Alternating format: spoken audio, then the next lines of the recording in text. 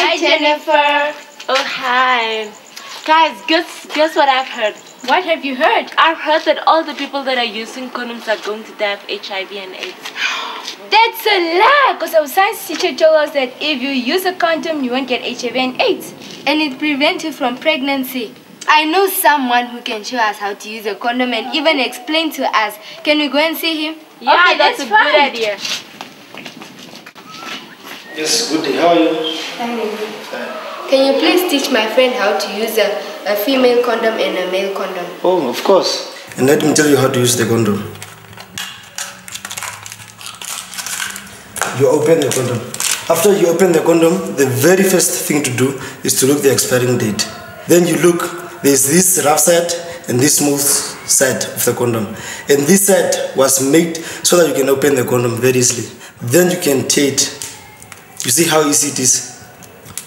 You pull the condom out, then you have to, to hold the tip of the condom to prevent the, the air to enter in, inside the condom. Ne? Then you have to roll this condom on the erected, erected penis. This is how you do it.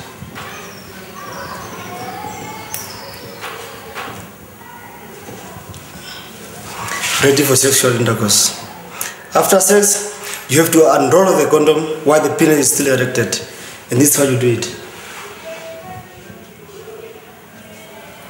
Again, you have to hold the tip of the condom, then you can tie the condom like this.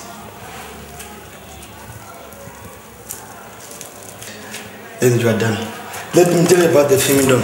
This one is a little bit complicated, but it can also prevent you from infections and early pregnancy. You have to look the expiring date on the condom. Then you, can, you see this blue arrow. That's where you open the femidom. Push it one side,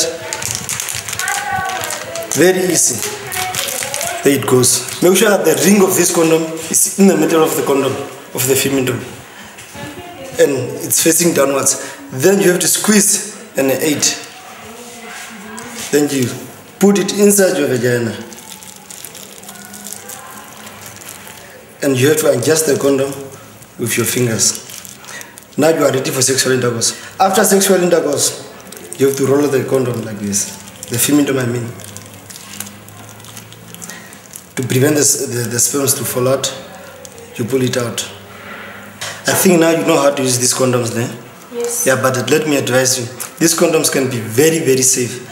But the best, safest way is to abstain until you are married. Thank you very much. Thank you. Welcome. Know how to use a condom, but abstain.